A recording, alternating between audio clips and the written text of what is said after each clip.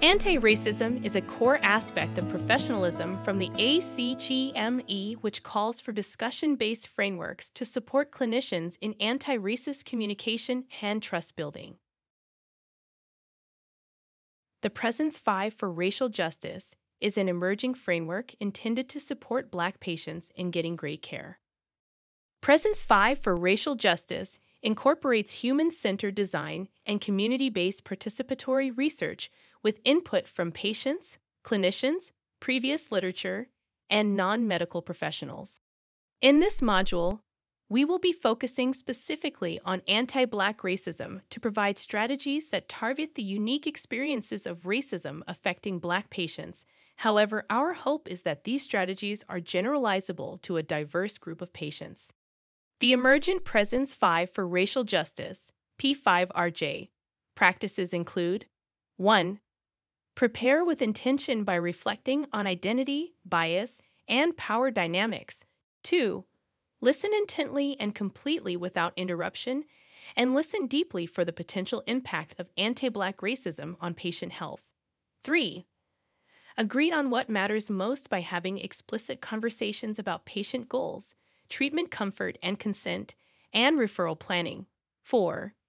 Connect with the patient's story acknowledging socioeconomic factors influencing patient health and focusing on positive efforts. And five, explore emotional cues by noticing and naming patient emotions and considering how experiences with racism might influence emotions. In alignment with community based research, this CME was developed by a community advisory board of Black patients and clinicians who treat Black patients. The following scenario was developed by those patients and clinicians, drawing on their lived experiences. In this video, let's consider the practice of agree on what matters most. As a reminder, the Presence 5 for Racial Justice practice of agree on what matters most includes having explicit conversations about patient goals, treatment comfort and consent, and referral planning. Consider the following scenario you are reviewing patient chart information for a black 37 year old woman with type 2 diabetes. Recently, her A1C has increased, and the chart says that the patient has been a no show non compliant with treatment. However, this does not match your experience of this patient who has always been very on top of her diabetes. You wonder if that really is the whole story. Consider how you navigate the conversation to identify the patient's most pressing priorities and also communicating your concerns about her blood sugar. Hi, Alice. How have you been? Oh, I'm all right. Let's talk about your diabetes management. Have you been able to keep up with your medications? I do see in your chart that you weren't able to make it to your one month follow up after the insulin prescription. To be honest, I've had a tough time focusing on my health.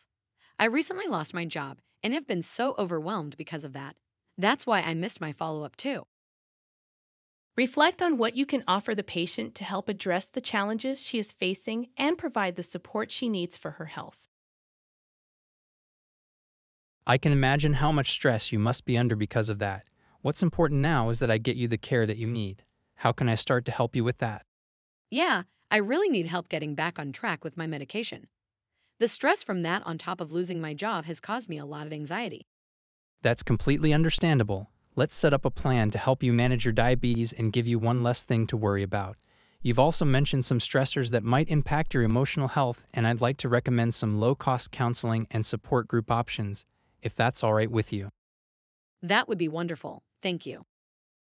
Are there any other priorities that you would like to address in this visit? Let's talk about the evidence for the domain of agree on what matters most.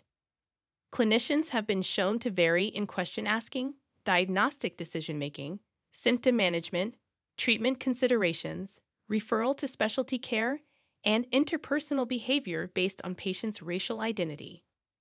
Children who are Black or from other minority population groups are more likely to be evaluated and reported for suspected abuse compared to white children. This can result in inappropriate referrals to Child Protective Services. Black patients report that clinicians use less positive talk or talk that is information giving, partnership building, or participatory decision making.